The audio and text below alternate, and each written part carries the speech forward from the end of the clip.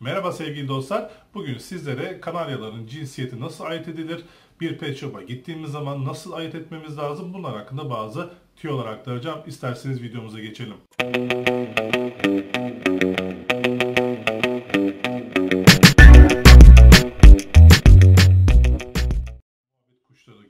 Çok fazla besleriz. Bunları ne bileyim işte ötüm için besleriz, üretim için besleriz.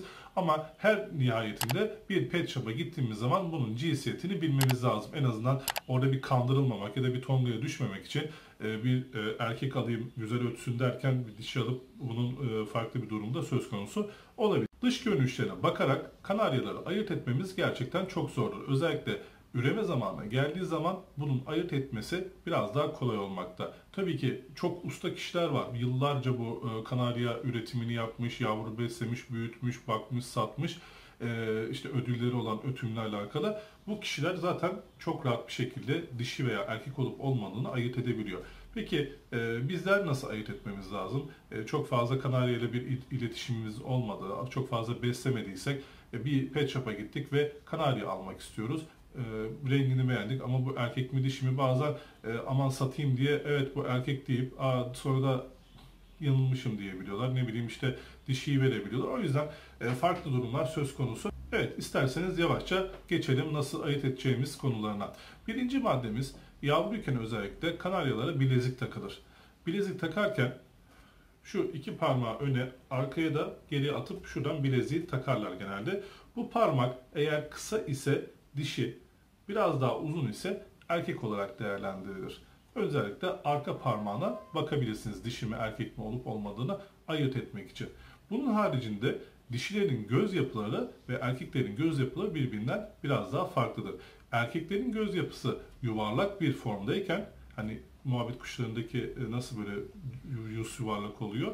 E, onun gibiyken dişilerinki daha böyle bir elips çekik gibi bir e, görüntüye sahiptir. Buradan da yine dişi erkek olup olmadığı kanaatine varabiliriz. Bu da mı yeterli olmadı? O zaman da e, kuşun tüy yapısına, parlaklığına, canlılığına bakmamız lazım. Eğer parlak ve canlı renklere sahipse buna erkek diyebiliriz. Eğer biraz daha solgun ve mat renkliyse bunu dişi olarak adlandırabiliriz bu alacağımız kanaryayı. Bunun haricinde farklı neye bakabiliriz sevgili dostlar? Bu kuşların ötüşüne bakabiliriz. Erkek kuşlar, erkek kanaryalar e, uzun ve nameli, nakaratlı öterken dişi kuşlar ise kısa ve daha namesiz, daha nakaratsız öterler. Buradan da ayırt etme gibi şansımız bulunmakta. Ama tabi bazı dişiler e, erkekler gibi e, nakaratı yapabilir, uzun da yapabilir. Ama bu çok fazla değildir. Yani 10 kuştan 1-2 tanesi bu e, durumu yaratır belki dişilerde. O yüzden e, zaten çok da bir kayıp olmaz. Yani güzel ötüyorsa dişi de almış olmaz. Çok da sizin için kayıp olmaz esasında. Neyse e, bunda da emin olamadıysak size son bir e, yöntem söyleyeceğim. Bu yöntemde özellikle üreme dönemine girmiş dişi ve erkekler için e, bakmamız lazım. Kuşumuzu e, yakaladık şu şekilde ve ters çeviriyoruz. Ters çevirdiğimiz zaman e, şöyle deyip üflüyoruz ve o tüylerin arasında hani nasıl muhabbet kuşlarında bakıyoruz tüylerin arası açılıyor ve tüylerin arası açıldığı zaman uzun ve çıkıntılıysa bu kuşumuza biz erkek diyebiliriz.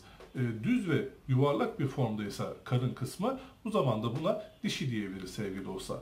Aktarmış olduğum bu maddelere bakarak yani tekine de bakabilirsiniz, birkaç tanesine bakabilirsiniz. Hepsinde bakmanız gereken bazı kuşlar olabilir. Nasıl ki muhabbet kuşlarında ben bile bazen e, ayırt etmekte zorlanıyorum. Yani cere yapısından gerçekten çok zor ayırt edilebiliyor. Aynı şekilde kanaryalarda da ayırt etme durumu söz konusu olabilir. Bu yüzden e, bu saymış olduğum 4-5 maddeyi bir anda da e, uygulamanız lazım kanaryanın cinsiyetini tayin etmek isterken.